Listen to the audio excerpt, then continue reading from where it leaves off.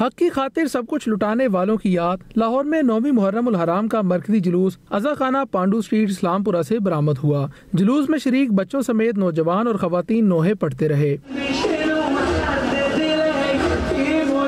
ازادران نے عالمگیر روڈ سراج بلڈنگ چوک پہنچ کر نماز زہرین ادا کی۔ جلوس نیلی بار موڑ، سیکٹریٹ چوک اور چرچ روڈ سے ہوتا ہوا پرانی نارکلی پہنچا، جہاں نماز مغربین ادا کی گئی۔ قدیمی جلوس اے جی آفس سے گزرتے ہوئے اپنی منزل امام بارگاہ خیمہ سادات پہنچا اور پھر مقررہ راستوں سے ہو کر واپس سادی روڈ جا کر اختتام پذیر ہوا۔ مرکزی جلوس کے علاوہ شہر میں شادمان سے امام بارگاہ کسر بطول وسن پورہ بیکھیوال موڑ، کوٹھا پنڈ سمیت دیگر مقامات سے بھی جلوس برآمد ہوئے اور مجالس کا بھی انعقاد کیا گیا۔ کیمرہ ٹیم اور ساتھی رپورٹر شاکر امان کے ہمراہ علی رضا، ہم نیوز لاہور۔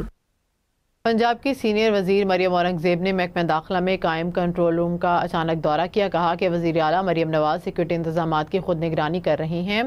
مریم اورنگزیب میں زیب نے محکمہ داخلہ میں قائم کنٹرول روم میں عاشورہ سے متعلق سیکورٹی انتظامات کی مانیٹرنگ کا جائزہ لیا۔ سی سی ٹی وی کیمروں کے ذریعے صوبے بھر، خصوصاً اندرون لاہور میں جلوسوں کے روٹس پر سیکورٹی انتظامات کو چیک کیا۔ مریم اورنگزیب نے کہا کہ وزیر اعلیٰ مریم نواز قیام امن اور عوام کی جان و مال کے تحفظ کے لیے پرعزم ہیں۔ انہوں نے جلوسوں اور مجالس کی سیکورٹی فول پروف بنانے کی ہدایت کی ہے۔